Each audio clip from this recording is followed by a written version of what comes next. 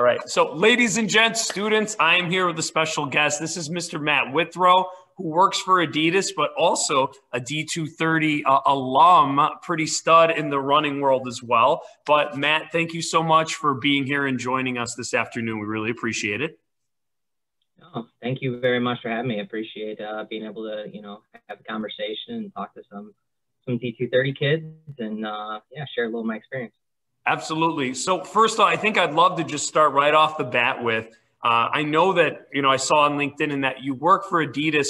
Could you explain kind of what your job with Adidas is and maybe what it looks like in, in an average day for you, and, and we could maybe go from there. Sounds good. Yeah. So my my official title is a key account manager, and basically what that means is I am in charge of uh, the sales side of the Adidas business, selling into one of our key partners and retailers. So my specific account actually is Foot Locker Inc. So for a lot of people don't know, know this, but like Foot Locker Inc. actually owns a lot of different um, different individual stores and banners. So there's Foot Locker, Foot, Foot Action, Kids Foot Locker, and then there's Champs and Eastbay. So my particular part of the business is the Champs and Eastbay side, um, and I focus a lot on the Eastbay side as well, which is more like the sport and, and my personal background. Um, but from a key account manager is basically the liaison between the company, Adidas, and the vendor and the, the retailer, in this instance, Eastbay.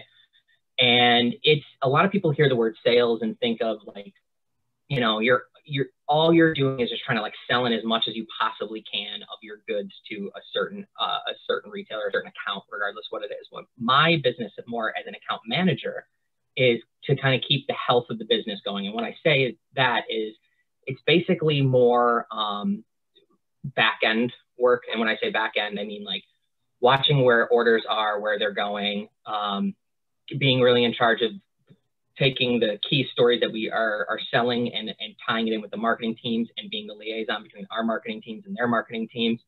Um, and there's just kind of all this kind of like in between type work. And a lot of people have always talked about like sales. There's inside sales and outside sales, but nowadays there's kind of like account management where you have an account and that's that's all you're selling into, and you're trying to just grow in the business or make the business healthy at that account. And then the other side of sales a lot is like you're going out and you're prospecting and you're finding new accounts, you're finding new places to sell your goods in. Mine is much more what I would call like the relational side. Um, my day to day, now I'll say pre pre COVID, um, my account used to be in Wausau, Wisconsin. It's actually now in, in uh, southern Florida in the Tampa Bay area. But when I was in Wausau, Wisconsin, uh, this was actually right before COVID, I'd be up there probably like every other week, um, maybe three, every three weeks or so, and having a lot of face-to-face meetings. A big part of my job is keeping a relational side. So my counterparts at the um, at the account are what are called buyers, and they're the ones who buy and manage the lines of what they're actually going to bring in and sell at their their individual stores. And that's that's the majority of, of kind of like the face-to-face stuff. We had an office. We had an office downtown on Kinzie. Uh, we decided actually to close it because it was just a regional office. A lot of a lot of uh, companies during COVID looked at you know overhead and what they needed to do and stuff, and technology like Zoom and things are allowing us to have all the face-to-face stuff differently. I actually have not been to my account in about 18 months now, almost almost 20 months. So everything we've been able to do just over Zoom. So it's a lot of systems and, and, and conversations kind of like this and going over, you know, order books and management uh, along those lines. Um, so that's kind of how it morphed into with, with COVID. I think once these restrictions get a little bit looser, I'll be down in Florida, probably not as often as I was in Wausau, I'll probably be down there about once a month. And then we have a, our North American headquarters. Um, a little bit about Adidas. Adidas is a German company, actually, and they're based just outside of Nuremberg. That's our global headquarters. But our North American headquarters are in Portland, Oregon, which is a huge hub for this industry, the footwear and apparel industry. I mean, that's where Nike's based. There's all sorts of accounts that are out there now. Um, so we have a regional, we have a North American office there. And then we have like a regional sales office actually in New York City because the headquarters of Foot Locker Inc. is in New York City. So I'm in an interesting spot being able to still live in Chicago and I'll, I'll do a lot of commuting between now Southern Florida, New York, and, and Portland. Um, and yeah, so that's kind of my normal day to day now in terms of where, where we are post COVID. Interesting. So if Adidas, like, as you're working with shoe and apparel, then through the Foot Locker Inc. If there's like a new shoe that's coming out in that, does that affect you and your relationship with the buyer? Like, are you mm-hmm. relaying that information and trying to like anticipate how many orders they would need in mm-hmm. different stores in Florida? Is that something that you would like work with? Yeah, yeah, that's that's that's actually a, a great way of kind of explaining it. So, like the big word I would say is forecasting. Like okay. the majority of my business is forecasting what the account is going to do, forecasting going to sell through with the account, what we're going to need to return that doesn't sell through, all these different things. So within my world, and I would say it's pretty similar for any, I'll say any tangible good that someone is going to sell um, or is just going to be in the marketplace. You have a, a, a vendor um, and you have some sort of account or retailer on that side. And the vendor side, everything starts with product creation and then it goes into in our world what we call merchandisers and product managers and then once from there, they hand it off to the sales teams to implement it into their individual retailers. So I'm kind of like the third check-in point, I'll say, as a new shoe comes to market.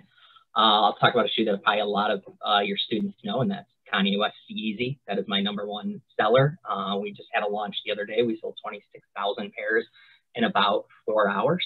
So we're still absolutely smoking with that shoe. But that shoe first came to life with with product development and our relationship with Kanye West and they kind of developed and thought about the shoe and what they wanted it to look like. And then once it goes to the merchandising teams, the merchandising teams decide, okay, how am I going to bring this to life um, in in my particular region? And our merchandisers are in charge of North America. Their job is very similar to mine in terms of they're looking at a very wide market, a multiple amount of accounts in terms of how they want the shoe to come to life, how many units they want to be in the marketplace, what they foresee they can sell through, what are any hurdles, marketing, all those types of things once it gets passed off to me, I further that vision of how the shoe is going to come to life, and I'm doing it just in my particular lane at my account. So Foot Locker is our number one global partner. Um, so they're they're they're number one priority of any account that we have across the across the world. Um, but then counterparts for me, we have people like Finish Line and then like Nordstrom's. So we've got probably about I'd say about 20, maybe 25 key account managers um, in, in our company. Um, and then below that, there's all sorts of different like sales reps that will work with smaller accounts. Um, but for like the really key accounts, like that's that's kind of their job is figuring out, okay, here's the line. What makes sense from the line for me to bring into my particular account, and and you know how do I bring that to life? So with that, are you also working with other people from Adidas in order to be say i have this need in florida and i need help with marketing do you bring in other teams as well? And are you like bridge that gap in relationship between your mm-hmm. client and adidas?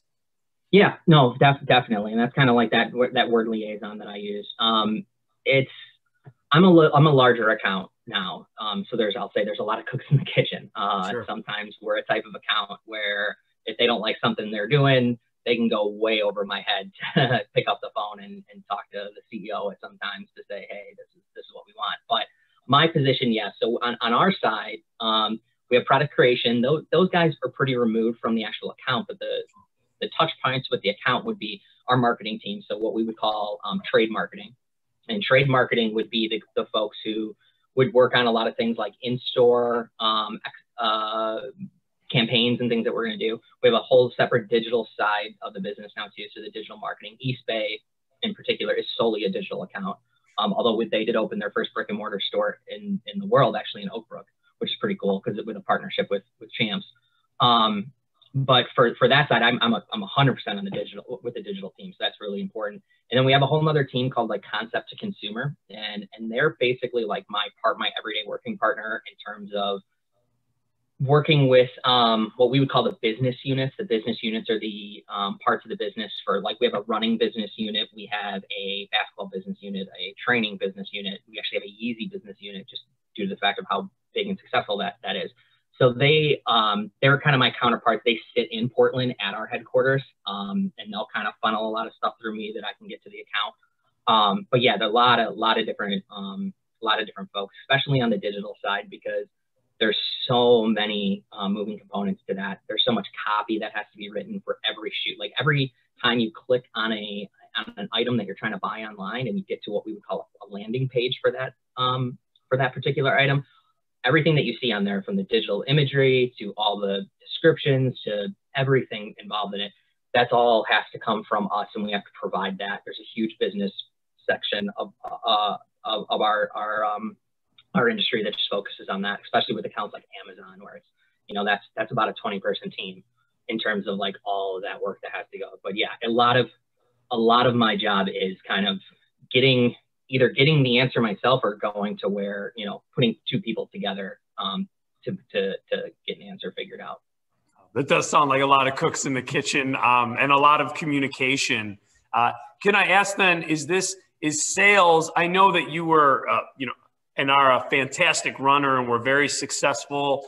Uh, was sales something that naturally you fell into or is it something you sought after or was it more like being a part of a specific company and then becoming that could you kind of talk about your path on how you ended up in this position i think a lot of students like to see and walk through someone else's shoes of how they got to where they are yeah um, i'm definitely a uh, an interesting uh, kind of story how, how i got here um, my initial plan was actually to be sitting where you're sitting and i was went to school to be to be a teacher. Mm-hmm. Um, but I will say, I mean, before I kind of get into my backstory, I will say uh, when I first started working at Adidas, I've been with the company just over 10 years now, and there was maybe one or two guys who either, at least in the running department, I started in specifically with the running department. I sold into stores like um, like Human Race Sports on on Lagrange. There was one of my accounts, like real small mom and pop uh, shoe stores. Um, but especially on the running side and in the sales side, when I first started, you everybody that worked, sans maybe one or two people for us, either was a very competitive runner or had retail background that worked at like one of those mom and pop stores. I, I actually was lucky enough to, to have both of those experiences. Right now, I'm the anomaly. I mean, half the guys I work with are from what we call CPG sales, consumer packaged goods. Like they come from Coke and Pepsi and uh, okay. Kellogg's and all that kind of kind of stuff. So the world has changed a lot. Like we used to be, there's a term in our, our, our industry called shoe dogs. It's actually a really good book, Shoe Dog. It's about Phil Knight, who um, is the uh, was the founder of, of Nike. But there was all these guys who just just came up like loving the product, loving everything about running, loving everything about maybe basketball or something, whatever your particular lane was. Um, but like now it's just you just are good business. A lot of a lot of it's just good business people. But like my um, my particular background, uh, like I said, I was I, I ran um, and I was pretty successful in high school and college, and actually was able to run a little bit after. And when I was in um, high school, my my almost my first job, actually my first job was a caddy at Crystal Tree, but my second job was um, working at Running for Kicks in Palos Heights, and that was a, a running shoe store. So I worked there all the way through high school, a lot of times summers in college, and then when I started living, I went to school in Madison and University of Wisconsin. When I was living there longer, I started working at another shoe store up, up there. So I was a shoe dog. I loved everything about about running shoes and, and track spikes and all that stuff. Like I loved sitting down with like the account reps when they would come into our stores and sell us in a product. Like I knew all that kind of stuff back like the back of my hand. So when I was at Wisconsin, we actually were sponsored. We were one of the key schools to be sponsored by Adidas. And when I was there, um, on campus, on any campus, like at Oregon with their partnership with Nike, um, at Notre Dame with their partnership with Under Armour. There's a lia- again, kind of a similar to what I do now. There's a liaison who is at the college who basically does all the ordering and planning and stuff for all the gear and, and, and things that uh, the players and coaches and, and, bookstores and everything and whatnot need. So I got to know that person really well when I was at Adidas and I, when I was at Wisconsin. Um, and I actually used to do all, a lot of the ordering and the sizing and fitting and stuff for our entire track team when I was when I was there. Uh, just because I knew the product so well and I knew the line and, and it was easier for me to do it rather than you know some somebody who would just talk to our coaches and our coaches gave had a lot of trust in me to be able to do that. So when I got out of college, I tried to run you know quote unquote professionally for a little bit and I, I was lucky enough to keep my relationship with Adidas and I ran for a team that was sponsored by Adidas and I got to know just a lot more people at the company because of that. And when I was when I stopped running, um, 2000, 2009, 2010, uh, I reached out to Adidas and just said like, you know, is there any openings? Is there anything that's that we can do? And at that time, a what we call uh, like tech reps, um, technical representatives, um, that was this was a part of the company that was just kind of kicking off again. And what those people are, um, they're kind of glorified. If you ever see those guys driving around in like the Red Bull vans and passing yeah. out Red Bull and hyping it up and everything, that was like half of my job was like just promoting the, the, the company. Yeah. And my the other half of my job was um, working with small mom and pop stores on stores on doing events and merchandising. Like we would do stuff in like Chicago Marathon, all that. And I actually went down to Texas to do that. So I was in I was in Dallas. Um, and then from there, just kind of progressed through a couple of different roles. I was able to move back to Chicago, move back home, and for a while I was a regional uh, manager for like mom and pop shops. I went a lot of wheel time. I mean, my territory was from the Dakotas all the way to Wisconsin, all the way southern Illinois. Uh, so all over the place, had about 100 accounts and just, you know, was in the accounts all the time, you know, doing my sales stuff, doing event things too. Like I still had a couple tech reps, but it was just a big territory. And then I started working um, as a what we would call a key account rep, which we don't really have too many of those anymore.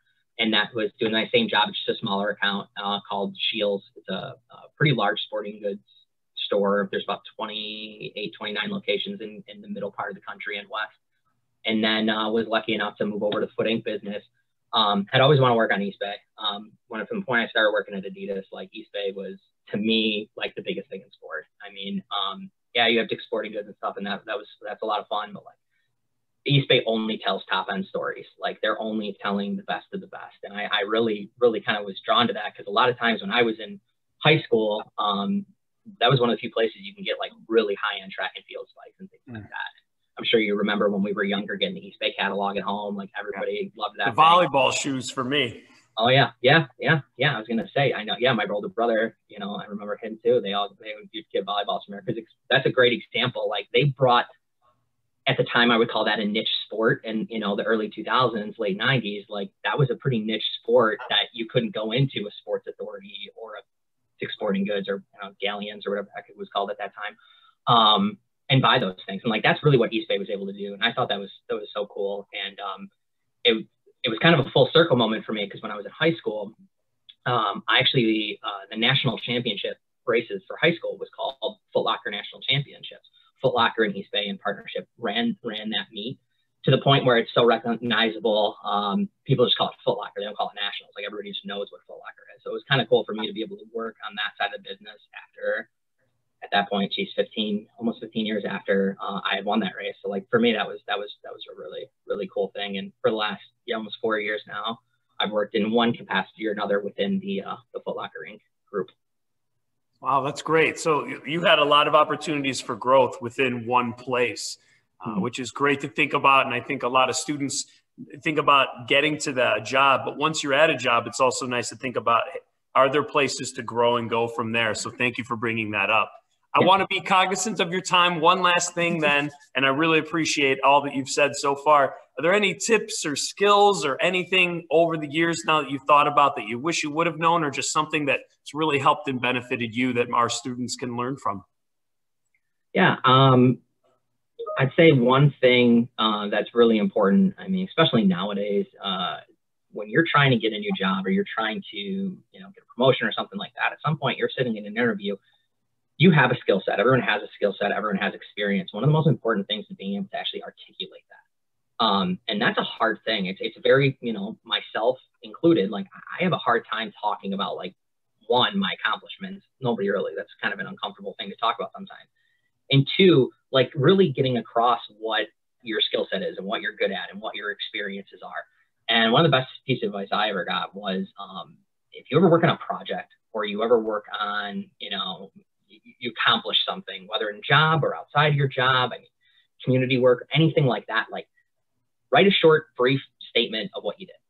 In terms like throw it on your phone, throw it in a journal, throw it somewhere. Just like this is what I worked on, this is what I did, this is what the end result was, this is how I brought it to life. And if you can have, because recruiters love those ex- experiences that you have, and if you can dictate very, very um, concisely like what you did, uh, that that that's a huge, huge thing. Um, so I would say like that's one thing, keep in your back pocket, just constantly look at that. And the other thing is it, it's such a key thing. Everyone always says, you know, there's sayings out there. It's not what you know, it's who you know. Networking is such a key word. And that is very important. But I think the most important part about it is being very um, sincere with it. And you're not just like reaching out to people to say like, hey, I just want to connect, blah, blah, blah, blah. You, you meet people every day in your life. You have relationships you don't even realize.